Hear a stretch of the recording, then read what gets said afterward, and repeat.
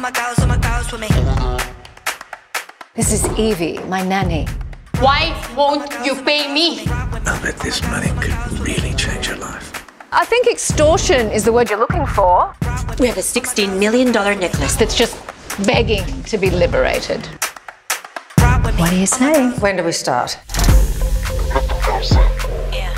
Nothing brings people together like a little criminal conspiracy.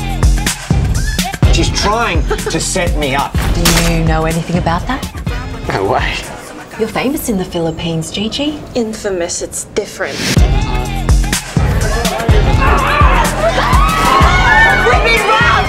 Who'd be stupid enough to steal from Roxanne Waters? Why would I steal from my own family? Didn't say that coming.